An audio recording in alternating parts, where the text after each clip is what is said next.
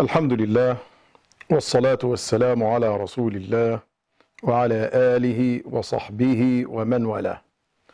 أيها الإخوة الأحباب، أيتها الأخوات الكريمات، أحييكم بتحية الإسلام فالسلام عليكم ورحمة الله وبركاته. ما زلنا مع أدعية نحن في أمس الحاجة إليها في هذه الأيام المباركة في العشر الأواخر من رمضان وهي من أدعية القرآن الكريم وأدعية القرآن الكريم لها خصوصية أنها وردت في القرآن الكريم. ومن هذه الأدعية المباركة التي جاء فيها من الأحاديث ومن الفضائل ما يجعل الإنسان يجري خلفها ويتمسك بها ويجعلها ديدنه في دعائه. هي خواتيم سورة البقرة ولها فضل كبير. خواتيم سورة البقرة. والدعاء من عند قول الله سبحانه وتعالى ربنا لا تؤاخذنا إن نسينا أو أخطأنا.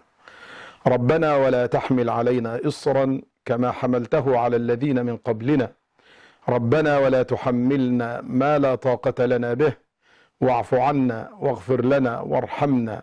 أنت مولانا فانصرنا على القوم الكافرين. هذا هو الدعاء.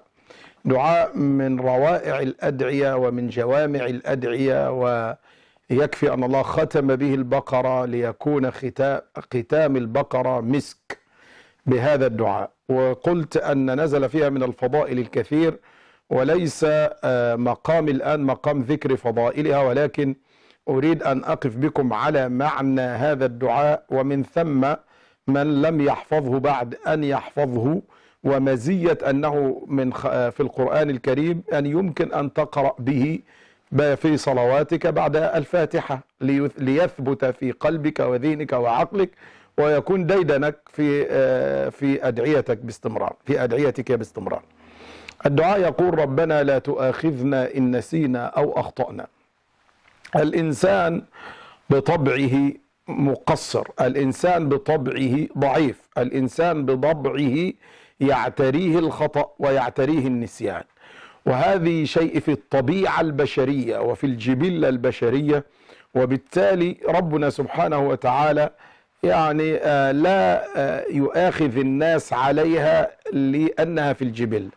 ولكن الإنسان إذا أخطأ أو نسي عليه أن يصحح هذا الخطأ وأن يصحح هذا النسيان ولا يستمر فيه. هو مجرد أنه يحدث بسبب النسيان أو الخطأ لا شيء فيه ولا يعاقب الإنسان على مجرد الخطأ والنسيان ولكن قد يعاقب الإنسان إذا استمر فيه لأنه في الحالة دي استمراره يخرجه خارج دائرة الخطأ والنسيان. ولذلك قال النبي صلى الله عليه وسلم رفع عن أمة الخطأ والنسيان وما استكرهوا عليه.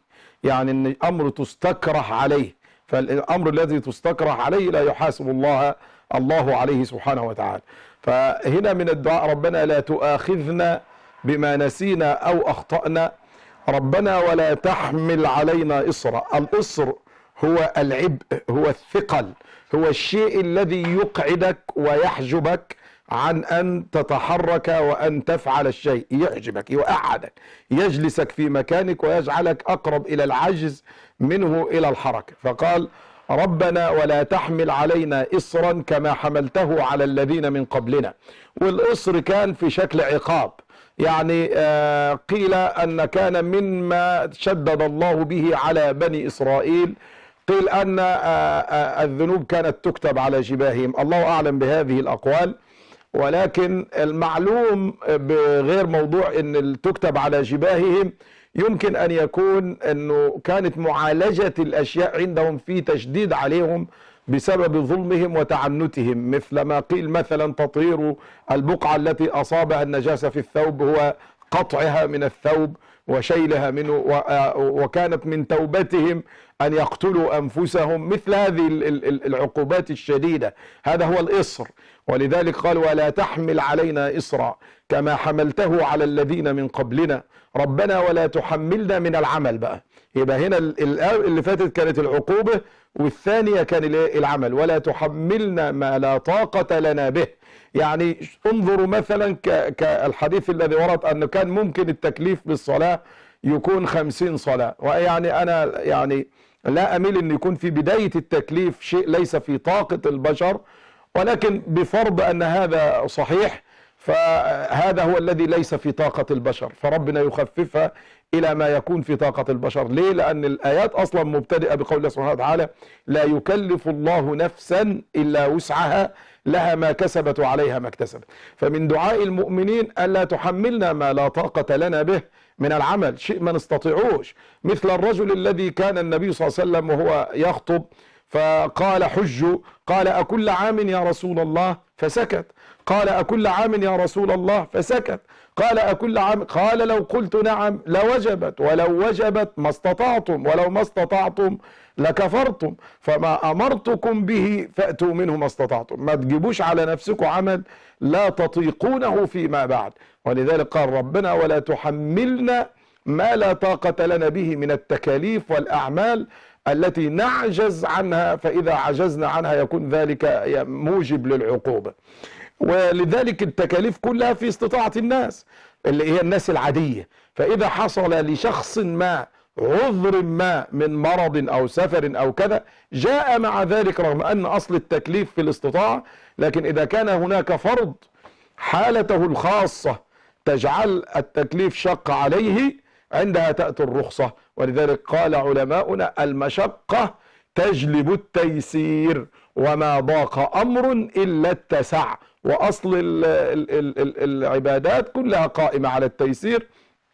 كما قال ربنا في شهر رمضان الذي أنزل فيه القرآن هدى للناس وبينات من الهدى والفرقان فمن شهد منكم الشهر فليصمه ومن كان مريضا أو على سفر فعدة من أيام أخر. شوف ربنا بيقول إيه؟ يريد الله بكم اليسر ولا يريد بكم العسر. إذا الدعاء هنا يا رب لا تحملنا ما لا طاقة لنا به. ولذلك الثلاث مطالب بقى اللي بعدين هيتناسب مع الثلاث أسئلة. ثلاث مطالب من الله بثلاثة رجاء فعندنا مثلا ربنا لا تؤاخذنا إن نسينا أو أخطأنا في مقابلها إيه؟ واعف عنا لأن اعفو عن الخطأ والنسيان. والعفو هو أن لا يحاسبك الله عليها نهائيا ولا يعتبرها ذنب من الأصل. يعني هي مش ذنب أصلا فلا يعتبرها لك ذنب يعفو عنها. هذا هو العفو ولذلك العفو هنا جاء مناسب للخطأ والنسيان. فاعفو عنا واغفر لنا. الغفران ده لإيه؟ لما استحق العقوبة. ربنا ولا تحمل علينا إصرا. الإصر هو العقوبة الشديدة التي كانت على الذنب. فالذنب ثابت والعقوبة واجبة فيها. ولكن الطلب يعني يعني بدل ما كان إصر وكان ثقيل العقوبة لا أنت بتطلب من الله يغفر الذنب كله ويرفع العقوبة كلها. فاعف عنا الخطأ والنسيان. واغفر لنا الذنوب التي ارتكبناها وارحمنا والرحمة تناسب إيه؟ ولا تحملنا ما لا طاقة لنا به. فكونه لا يحملك ما لا تطيق ولا يكلفك إلا ما هو في وسعك لأنه رحيم. فالرحمة هي التي جعل وإلا حملك ما لا في وسعك لو لم يكن يرحمك. فلذلك لو تنظروا هذه الثلاثة في مقابل الثلاثة اعفو اغفر ارحم اعفو في مقابل الخطأ والنسيان. اغفر في مقابل الإصر ارحم في مقابل عدم تحميلنا ما لا طاقة لنا به. واعف عنا واغفر لنا وارحمنا. أنت مولانا فانصرنا على القوم الكافرين. من لنا غيرك؟ أنت سندنا أنت ولينا أنت حسبنا أنت نصيرنا. وإن لم تكن أنت ولينا ولا, ولا نصيرنا فلا ولي لنا ولا نصير من الناس مهما كان الناس. فانصرنا على القوم الكافرين. وانصرنا على القوم الكافرين ليس شرط أن يكون في ميادين القتال والمعركة. يمكن في ميادين الحجة والبرهان. لأن إحنا بندعي أن ديننا هو الدين الخاتم وهو الصحيح. ونريد أن نبلغه للناس بأبلغ بيان وأبين حجة تدل على صحته وتدل على أنه من الله. وهذا يحتاج إلى ولاية الله ونصرته لنا ليثبت أقدامنا وأن يلهمنا حجتنا وأن يجعلنا خير دعاة لهذا الدين.